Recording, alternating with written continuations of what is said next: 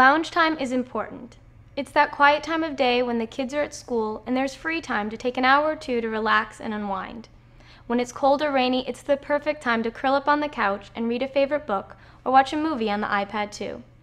You told us that after a while the iPad gets pretty heavy, and while most of the time you can usually end up trying to prop it up using a pillow, it's never fully comfortable.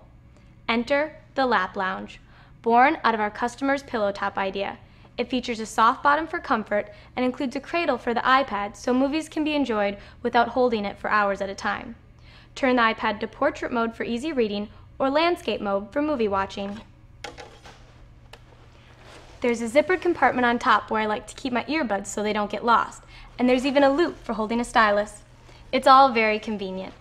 And if you're not an iPad owner, there's an adjustable version designed to fit most tablets up to 10.1 inches. Perfect for those lazy lounge on the couch days.